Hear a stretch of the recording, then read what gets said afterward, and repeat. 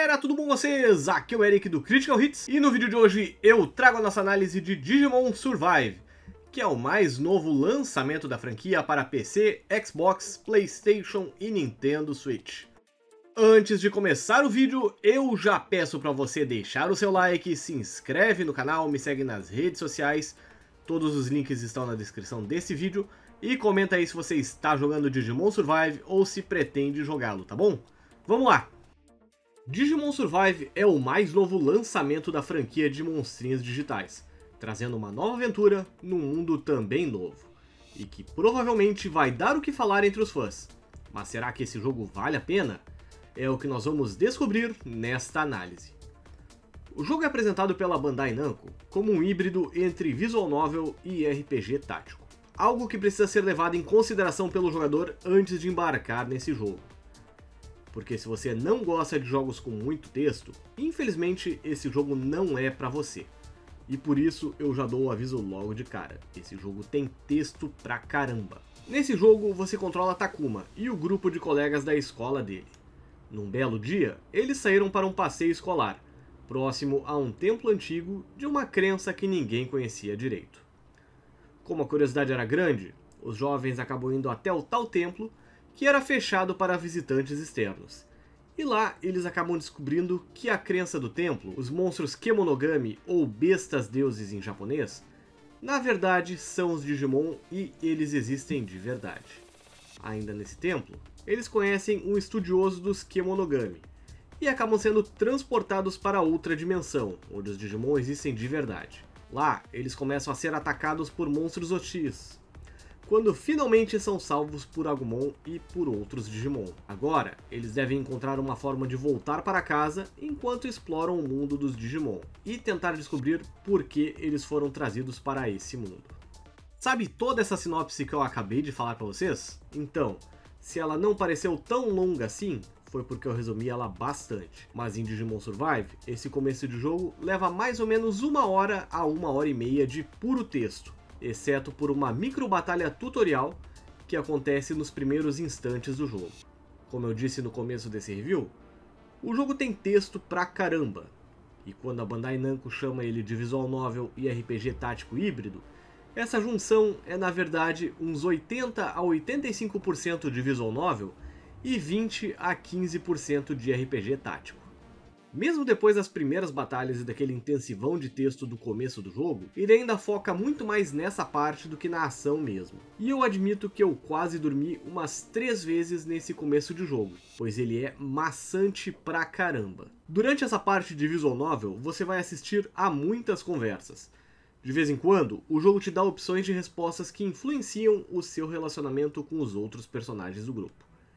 Dependendo de como você responde, a relação desses personagens com os Digimon acaba mudando, e eles podem acabar desenvolvendo para outros monstros diferentes com essa mecânica.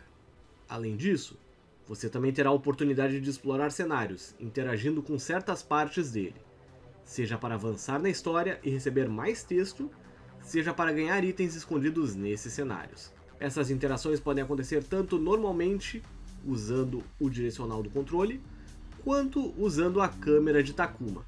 Mas como o jogo te dá a oportunidade de usar os botões L e R para alternar entre os pontos de interesse do cenário, a exploração pode acabar rapidamente, já que é só circular pelas opções até achar os pontos com exclamação para avançar logo a história. O jogo é dividido em capítulos, com cada capítulo parecendo um episódio ou um pequeno arco de anime mesmo. Um exemplo disso é logo no começo do jogo, onde uma personagem do seu grupo acaba sendo sequestrada e você tem que vasculhar uma escola antiga até encontrá-la. Como eu disse anteriormente, essa parte de visual novel tem bastante texto, e infelizmente o ritmo dela é arrastado demais, com muitos dos diálogos sendo conversas que não levam a lugar algum entre os personagens. Como o próprio jogo em si é lento para avançar as conversas, dá para tranquilamente ficar metralhando o botão de avançar os textos e lê-los enquanto o jogo mostra as conversas, já que ele é bem lento para mostrar o texto após o começo super arrastado do jogo e as primeiras batalhas, Digimon Survive não melhora tanto assim nesse quesito, já que nas partes de drama e de exploração, você ainda vai gastar uns bons 20 a 30 minutos entre cada batalha obrigatória. e às vezes até mais, só lendo texto e circulando entre os mapas para ler mais texto e fazer a história andar mais um pouquinho. A partir do primeiro capítulo do jogo, ele finalmente te dá a oportunidade de batalhar livremente para subir o nível dos seus Digimon, além das batalhas obrigatórias na história do jogo. E aí você pode escolher entre continuar lendo mais texto ou lutar uma batalha aqui e outra ali, mas que não contribuem em nada para a história só para fazer alguma coisa diferente. No departamento de batalhas, Digimon Survive é um jogo competente, mas nada muito além disso. Você pode escolher uma quantidade limitada de Digimon para enfrentar os inimigos, além de poder ficar amigo de outros Digimon inimigos tanto para obter itens deles, quanto para fazê-los juntarem-se ao seu grupo, e assim aumentar o seu esquadrão de monstrinhos digitais. Para isso, você tem a opção de conversar com os Digimon durante as batalhas, respondendo a perguntas dos inimigos ou incentivando os Digimon do seu grupo. Seja para melhorar o ataque, a quantidade de espaços que ele caminha ou até mesmo recuperar a vida dele. As batalhas em si acontecem em sua maioria em terrenos planos com alguns obstáculos, mas elas costumam ser bastante simples tanto pelo nível de dificuldade do jogo, quanto pelo fato de na maioria das vezes você estar em maior número do que o seu adversário. Conforme o jogo avança, você vai desbloqueando as Digivoluções para os seus Digimon. Essas evoluções consomem pontos de especial a cada turno. Então você terá que tentar encontrar um equilíbrio entre ficar desenvolvendo e gastar SP, ou tentar resolver os combates nas formas mais inferiores sem precisar desse gasto. Graficamente, Digimon Survive não tem nada demais.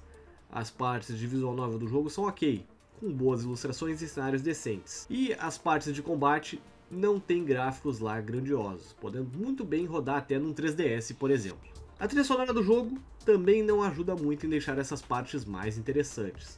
E os temas de batalha também não são lá grandes coisas.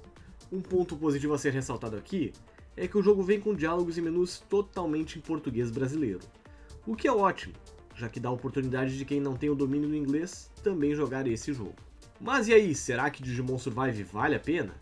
Digimon Survive é um jogo que se divide entre visual novel e RPG tático, numa proporção completamente desigual e que pende muito mais para o primeiro do que para o segundo. No geral, o modo de combate de Digimon Survive é legal, e o jogo certamente seria muito melhor se esse fosse o ênfase do jogo, e não o contrário, pois infelizmente o ritmo do jogo é terrível, e a história está longe de ser tão interessante assim que mereça um foco tão aprofundado nela. Mesmo que você seja um fã de visual novels e fique interessado no jogo por causa disso, é importante ressaltar mais uma vez que a história não é tão boa assim, e há outros jogos da franquia bem mais interessantes do que esse. Bom galera, eu fico por aqui, espero que vocês tenham gostado da minha análise de Digimon Survive. Eu, infelizmente, não consigo recomendar esse jogo, ainda mais pelo preço que ele está sendo cobrado nesse momento do lançamento, tá 300 reais se eu não me engano. A minha nota para ele é 5 de 10, e 5 quer dizer que o jogo é um grande meh. E honestamente ele é um grande mé mesmo e chega a ser até ser irritante, na verdade, nas partes em que você quer, pelo amor de Deus, que a história avance para você fazer alguma coisa diferente. Curtam o vídeo, inscrevam-se no canal, me sigam nas redes sociais, deixem seus comentários aí se vocês estão jogando Digimon Survive, se pretendem jogá-lo ou não. E até a próxima, tá bom? Um abraço!